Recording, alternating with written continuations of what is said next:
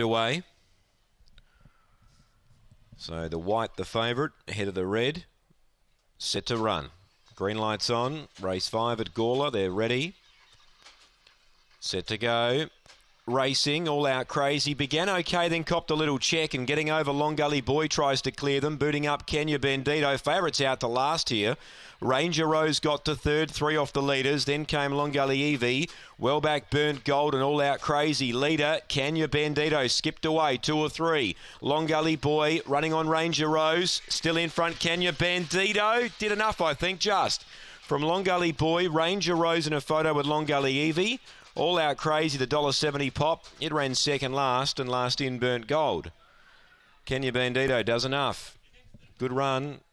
Just gets in from Long Gully Boy, who certainly came back on the line. And Ranger Rose finishing back into third, one, six, and two. One, six, and two, eight fourth. Half ahead the winning margin, run home in 13.99. So Kenya Bandito booted up, held the lead, got clear at the top of the straight, but he just got a little tired. And on the line, Long Gully Boys kick back, and uh, it's got in by half a head. Two Ranger Rose running on again into third.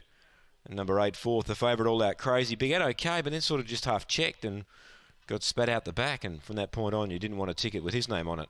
1628, 2269 the run. So it's, uh, it's a new PB for the winner, Kenya Bandito. For Ben Rawlings, takes out race number five.